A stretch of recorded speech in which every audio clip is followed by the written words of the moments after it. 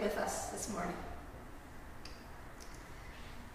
Uh, announcements. You've received a quite a list of things in, in this uh, leaflet. Uh, so just take time to uh, read those and and give attention to those that that you need to. Um, next Sunday is Thanksgiving Sunday, so we trust that you will, will join us for that worship. Reverend Brian will be leading worship next Sunday. Uh, chili meal, uh, should let you know, that's on your sheet, but it's Friday, October 21st, and uh, the information is on your sheet to get in touch with Tom or Rindy to let them know that you'd like to, uh, to have a takeout supper. Um, I think those are all the, except for uh, there, there's a sad announcement this morning. Bert Bates passed away. And his funeral arrangements are incomplete at this time. So we extend our sincere sympathies to Winnie and her family at this time. Are there any other announcements? Anybody have announcements? No? Okay, we acknowledge the land to show our gratitude as an act of reconciliation. As we gather here this morning, let us pause to remember that in this region we live and work and worship on lands that are by law unceded territories of the Wabanaki peoples, predominantly the lands of Mi'kmaq, Maliseet, and Passamaquoddy. May we live with respect on this land and live in peace and friendship with its people. We're going to light our candle as a symbol of presence of Christ with us here at worship this morning.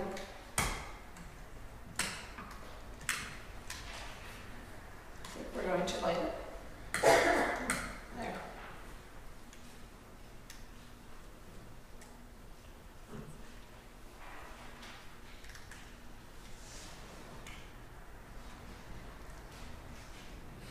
And also on this Worldwide Communion Sunday, we light this candle as a sign of God's Spirit at work in the world. May its light brighten our spirits, and may the light of God shining through us brighten this world. I would invite you to stand for the call to awareness.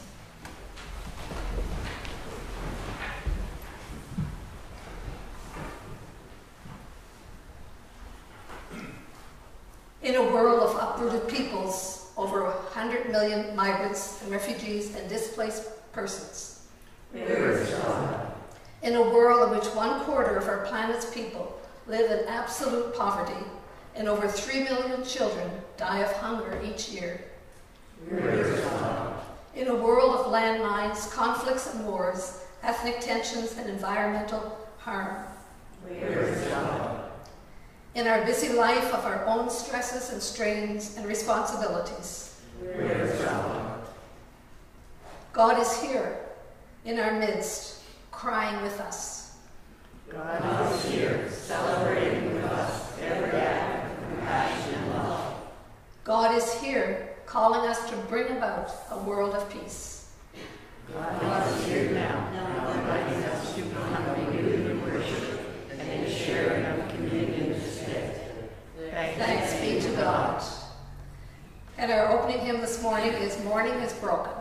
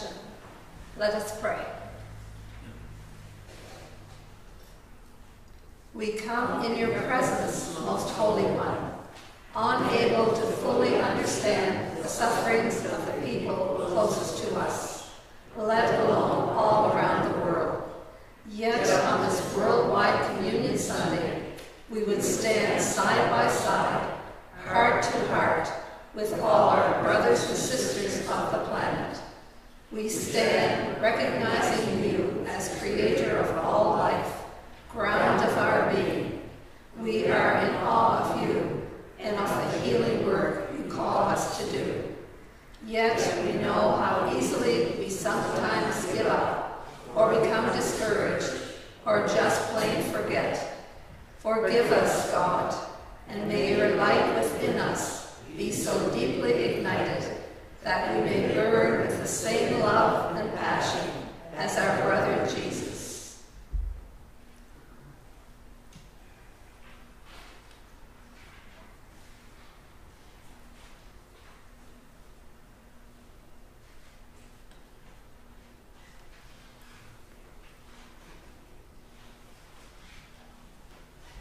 Amen.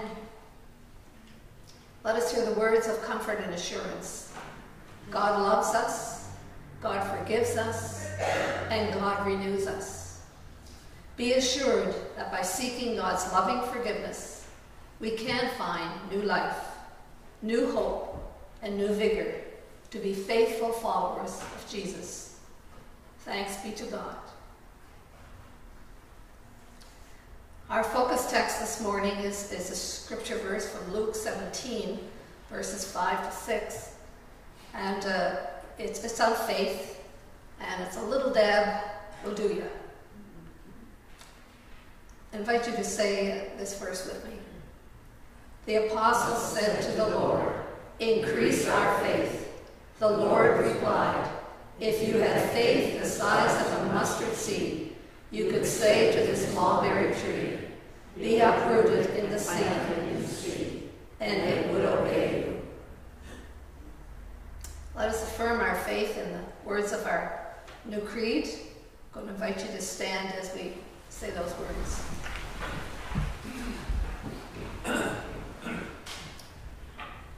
We are not alone. We live in God's world.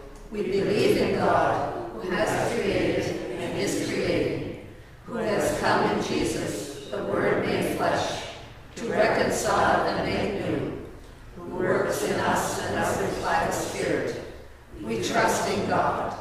We are called to be the church, to celebrate God's presence, to live with respect in creation, to love and serve others, to seek justice and resist evil, to proclaim Jesus crucified and risen, our judge and our Lord. In life, in death, in life beyond death, God is with us. We are not alone. Thanks be to God. Let us unite our voices in song as we sing. While you remain standing, it only takes a spark.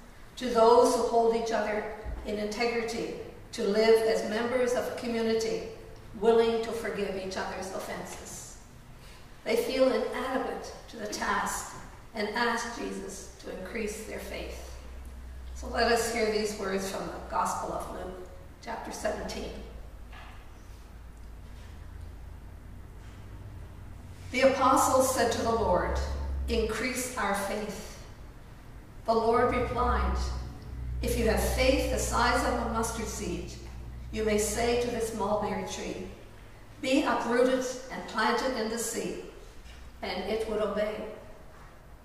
Who among you would say to, our, to a slave, your slave who has just come in from plowing or tending sheep in the field, Come here at once and take your place at the table. Would you not rather say to him, Prepare supper for me, put on your apron and serve me while I eat and drink? Later you may eat and drink. Do you thank the slave for doing what was commanded? So you also, when you have done all that you were ordered to do, say, We are worthless slaves we have done only what we ought to have done. The Gospel of Christ. The epistle lesson this morning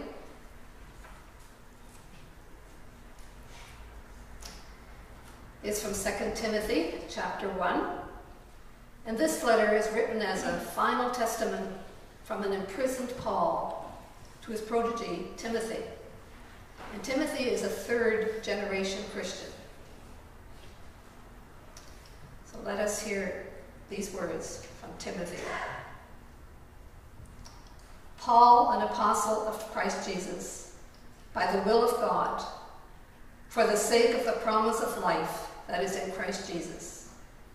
To Timothy, my beloved child, grace, mercy, and peace from God the Father and Christ Jesus our Lord. I am grateful to God, whom I worship with a clear conscience, as my ancestors did, when I remember you constantly in my prayers, night and day, recalling your tears. I long to see you so that I may be filled with joy. I am reminded of your sincere faith, a faith that lived in your grandmother Lois and your mother Eunice and now I am sure lives in you. For this reason, I remind you to kindle the gift of God that is within you through the laying on of my hands. For God did not give us a spirit of cowardice, but rather a spirit of power and of love and self-discipline. Do not be ashamed, then, of the testimony about our Lord or of me, his prisoner but join with me in suffering for the gospel, relying on the power of God, who saved us and called us with a holy calling, not according to our works, but according to his own purpose and grace. This grace was given to us in Christ Jesus before the ages began, but it is now has been revealed through the appearing of our Savior Christ Jesus, who abolished death and brought life and immortality to light through the gospel. For this gospel I was appointed a herald and an apostle and a teacher, and for this reason I suffer as I do.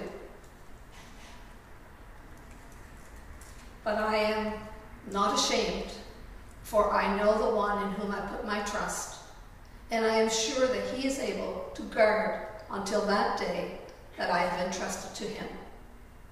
Hold to the standard of sound teaching, that you may have heard from me in the faith and love that are in Christ Jesus. Guard the good treasure entrusted to you with the help of the Holy Spirit living in us. May God grant us wisdom and understanding in the hearing of these words from our sacred scripture this morning.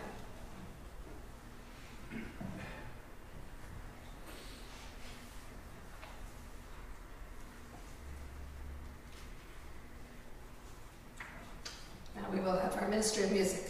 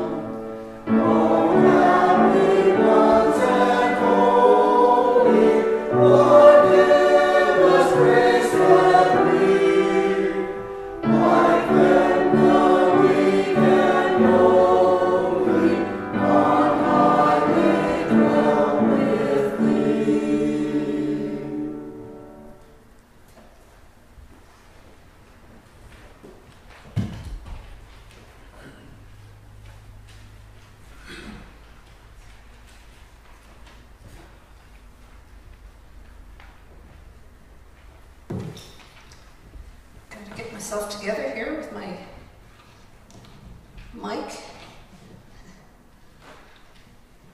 It's fallen off. Thank you very much, Anne Marie and the choir, for that number this morning. Special thanks to Anne Marie for lending her talent and her time to us during this interim time when we're searching for a choir director. Well, let's see.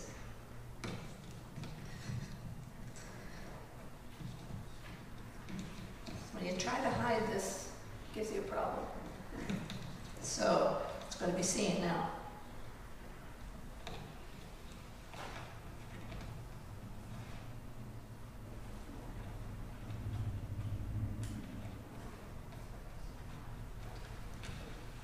Let us pray.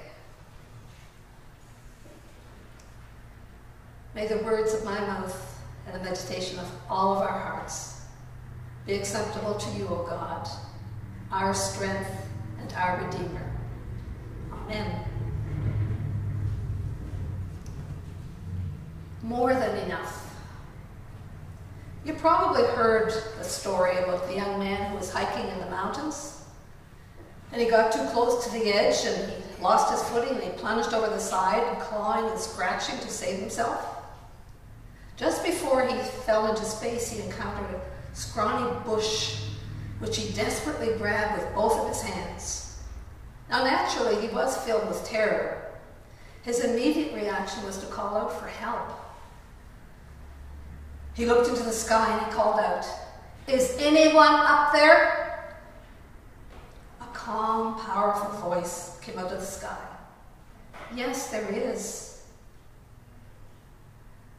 The young man pleaded, Can you help me?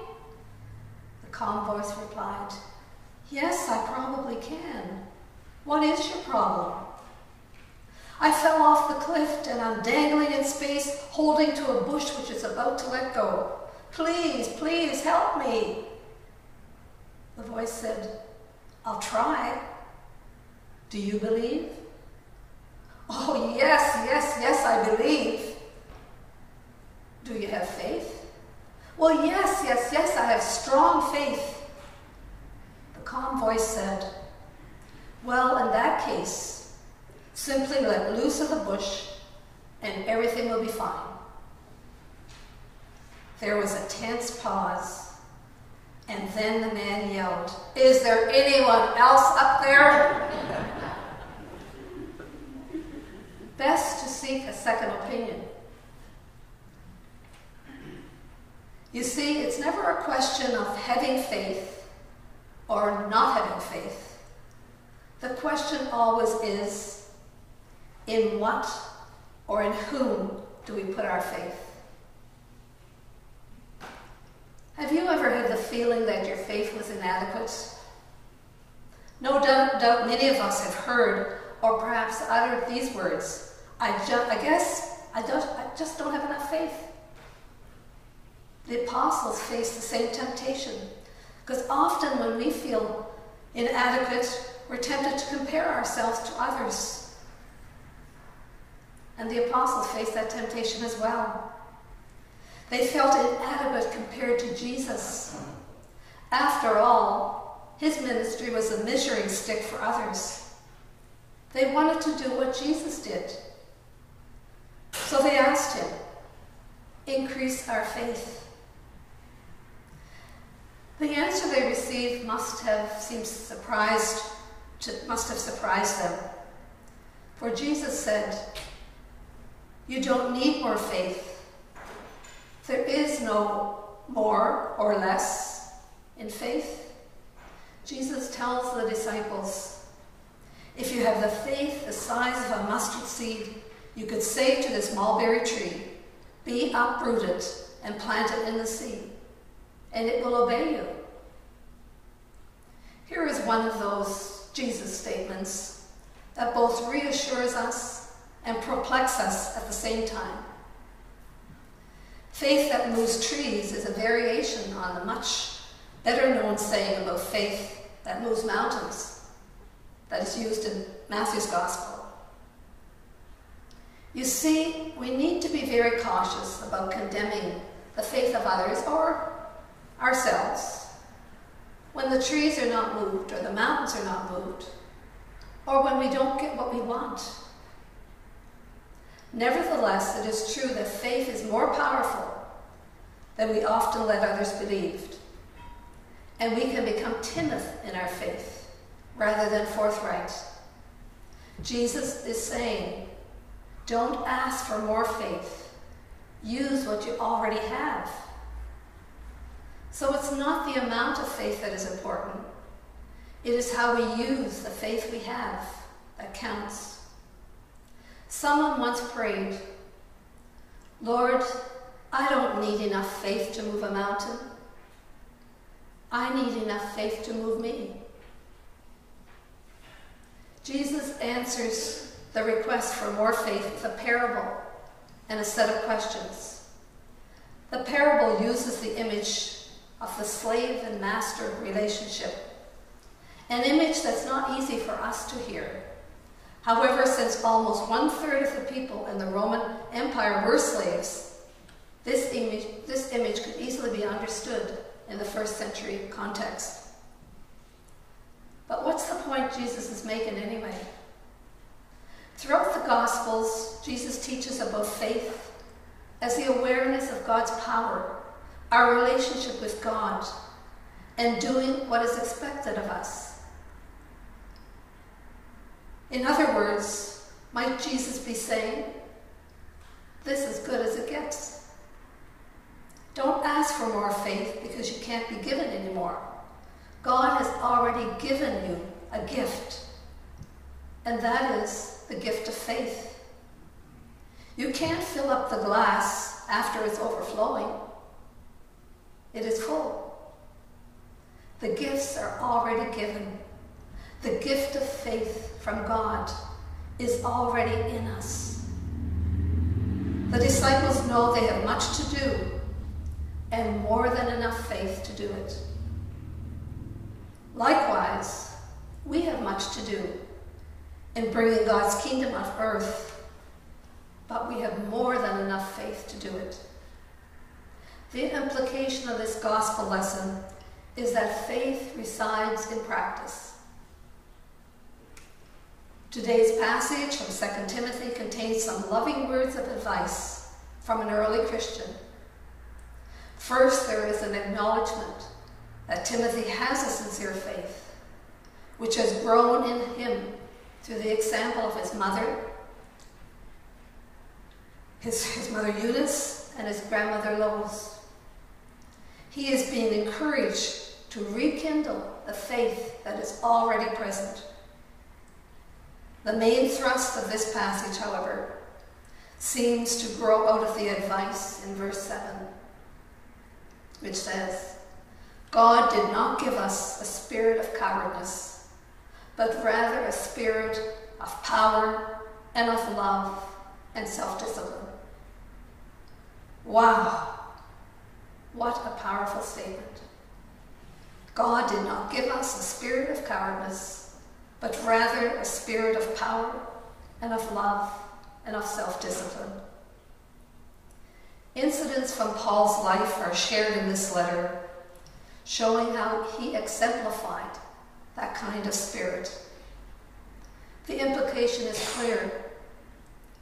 Although it may be tempting to be timid, we are called to be bold, like Paul, who was confident, because he knew his life was grounded in God through Christ's example.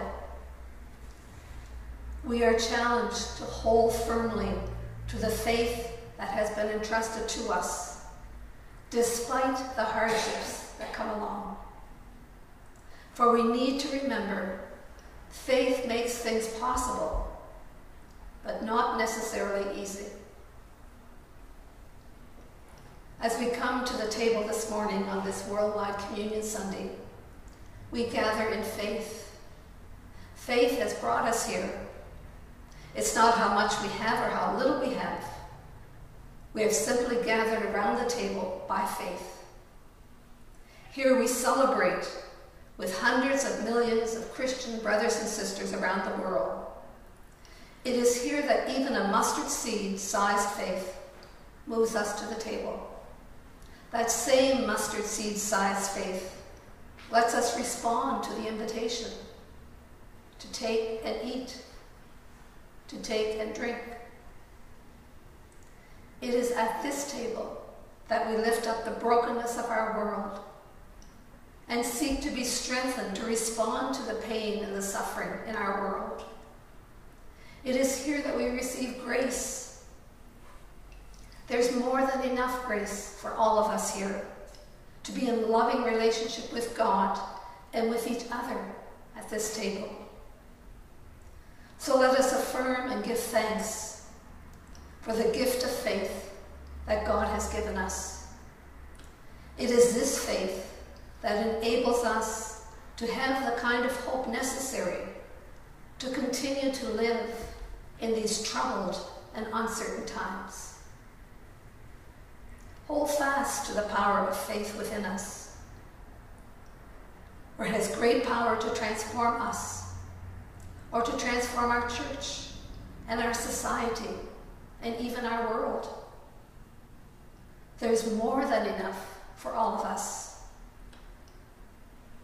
So let's put our faith in action and allow the Spirit to bring the transformation. Thanks be to a generous God. Amen.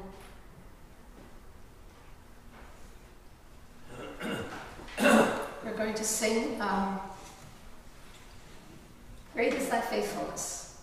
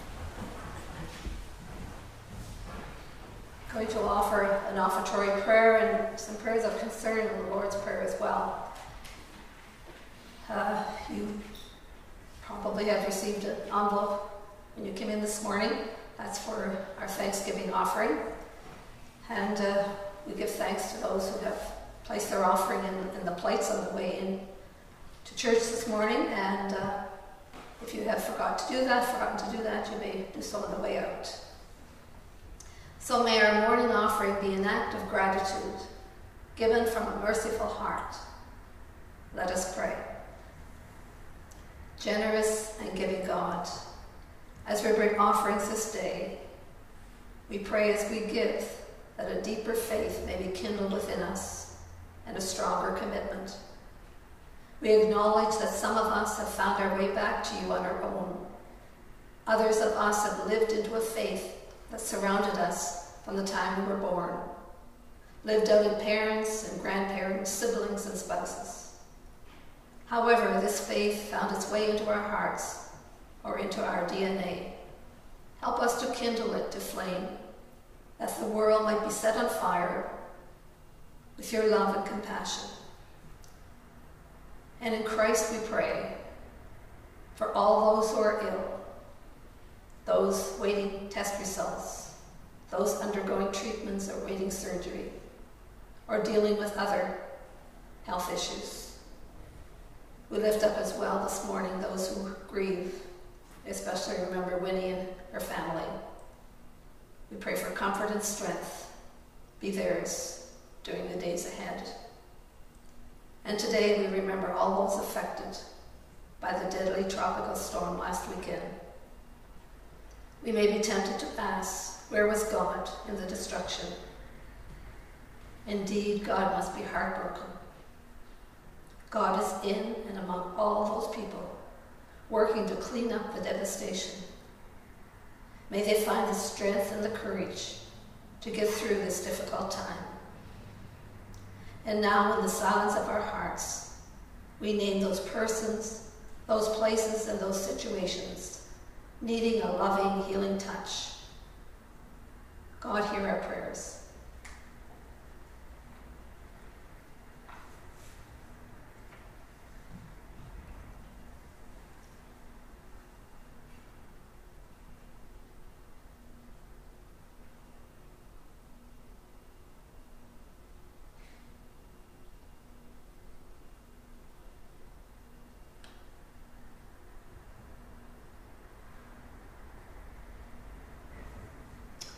Assured of thy listening presence, O God, we offer all of our prayers in the name of the one who teaches us to pray, saying, Our Father, who art in heaven, hallowed be thy name. Thy kingdom come, thy will be done on earth as it is in heaven. Give us this day our daily bread, and forgive us our trespasses, as we forgive those who trespass against us. And lead us not into temptation but deliver us from evil.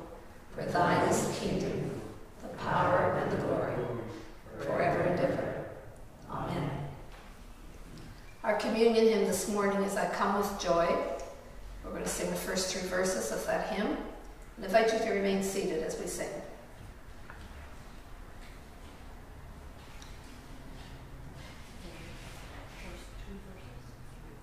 Three, please. There's five verses, is there?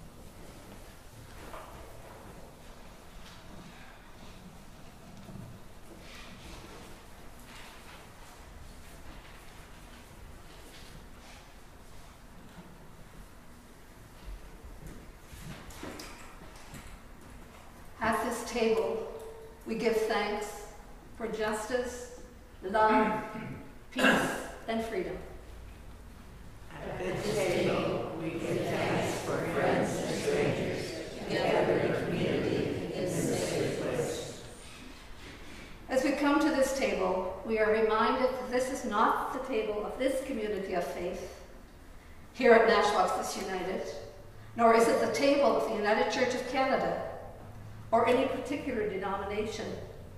It is the table of Jesus Christ, the family feast of the whole people of God, and all who seek to be nourished and sustained in their journey of faith and long to live justly and peace with their neighbor are welcome at this table. Let us eat and drink together for a strengthening of our faith and for the sake of the world. We give thanks for the unfolding of matter, mind, and intelligence, and life that has brought us to this moment in time. We celebrate our common origin with everything that exists. We celebrate the mystery we experience and address as God, ground and sustainer of everything that exists, in whom we live and move and have our being. As we acknowledge this mystery embodied in every human person, beware that each one of us gives God unique and personal expression. God is everywhere present, in great still moments of sharing,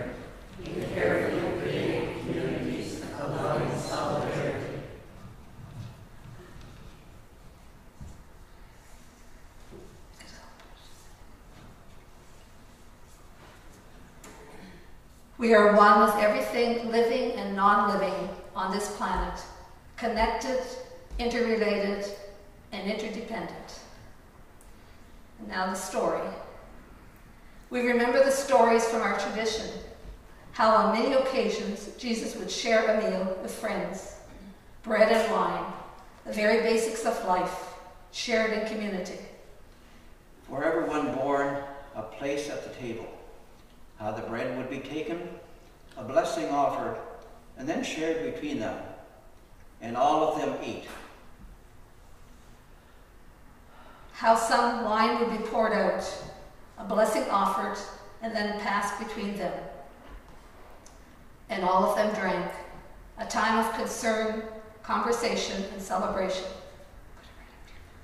The bread and the wine symbolized human lives interconnected with other human lives in the power of giving and receiving.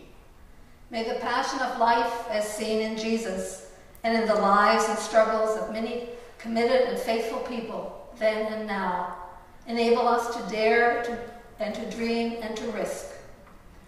Together may we reimagine the world.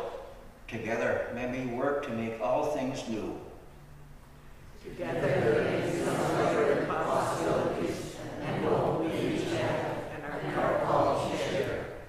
For everyone born, a place at the table.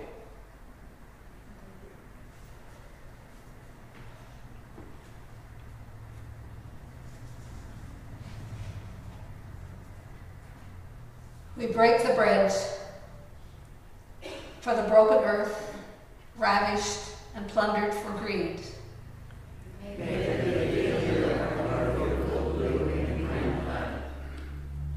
We break the bread for our broken humanity, for the powerful and powerless, trapped by exploitation and oppression.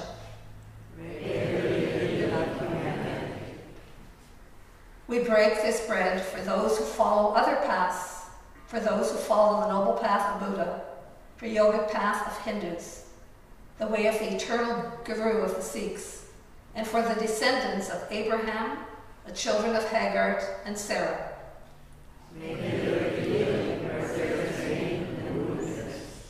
We break this bread for the unhealed hurts and wounds that lie within all of us.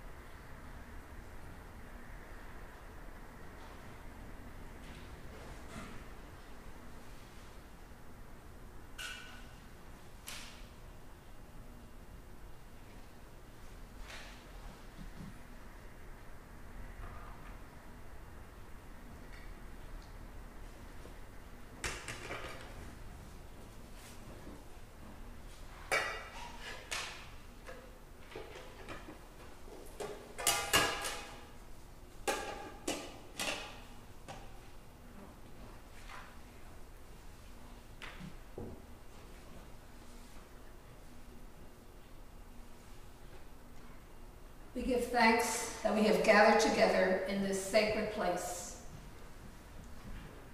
We rejoice in the giftedness of each person here.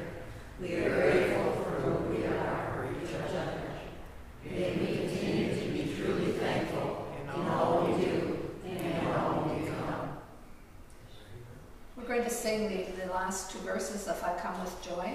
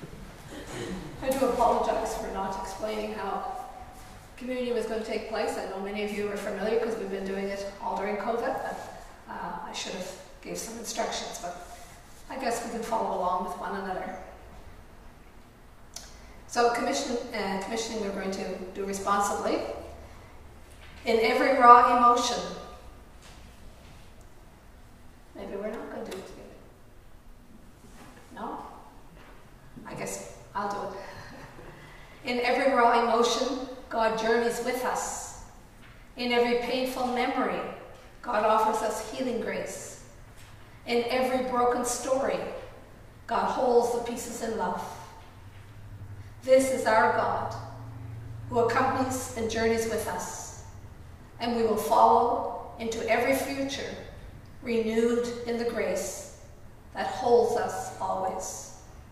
So let us go forth, assured of God's love and the grace of our Lord Jesus Christ and the fellowship of the Holy Spirit, now and forever. Amen. our sung benediction is walk with me.